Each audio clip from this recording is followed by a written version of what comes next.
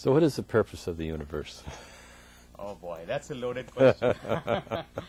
um, that's actually a very good question. Uh, we, most of us, do not ask that question, and we keep running our lives uh, without asking uh, why we are here, who are we, and uh, why is this universe here? Uh, why are we doing what we are doing? Uh, it's like, uh, Are we the only ones here? are, are we the only ones here? Is there someone else out there? Uh, things like that. So we have curiosities of our own, but uh, we do not spend enough time or energies to go look for the answers. And quite often, we don't have the patience to go uh, deep into those questions. So we try to find them from reading, you know, books and uh, watching programs. And uh, but if we look into science, for example, most of us who have scientific background, we know very well that uh, science does not believe in supernatural powers, or even it's a very well known that quite a few scientists openly would say that uh, the universe does not have a purpose. It's uh, it's a random. It's uncertainty. It's ruled by uncertainty of quantum mechanics. Uh, things are uncertain, and uh, it's uh, going along. Uh, it's not a deterministic universe like what Newton had said. You know, Newton's laws are all deterministic, but that has been all removed by or overtaken by relativity and quantum mechanics. Yet there's symmetry in the universe. Yeah, s- symmetry is one of the laws. There's laws of conservation. I mean, those are deter- deterministic laws. And in fact, all the classical uh, laws of the universe are all deterministic. Newton's laws and mathematical laws are deterministic.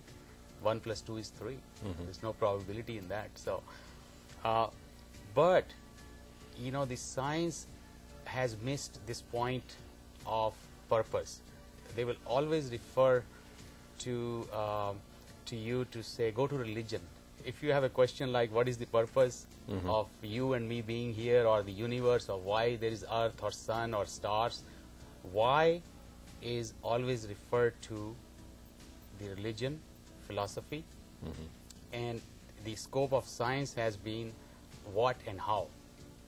So you do experiments to determine what, what's happening, what happens, and then you have theories to uh, answer why, to match the match the ex- to explain the experiments what you observe. Yeah. Well, even, even science, though, there are scientists that delve into electronic voice phenomena and uh, images showing up on DVD players. And they're, they're Correct, correct. There is uh, they uh, they touch, they they try to dance around it. You know, they try to go into it, but it ultimately science. Uh, the the method of science is that thou shall experiment, and thou shall measure. Measure.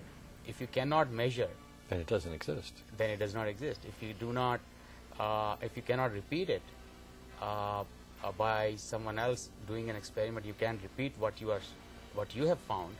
It's not accepted as reality. So if you're looking at the same ghost, someone else has to come in and run the same experiments. Exactly, but if one or two won't suffice.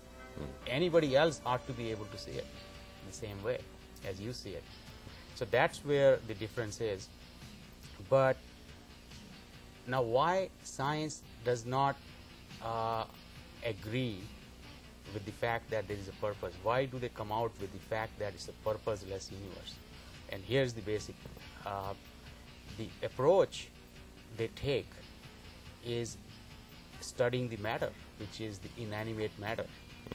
That matter has no free will. It cannot take, it cannot think, it cannot uh, uh, do things at its own. At its own, it cannot do anything. It's inanimate. Mm-hmm. So you can't act or react. yeah, it and it cannot take any actions uh, in reaction to what it thinks. So, how can it have a purpose?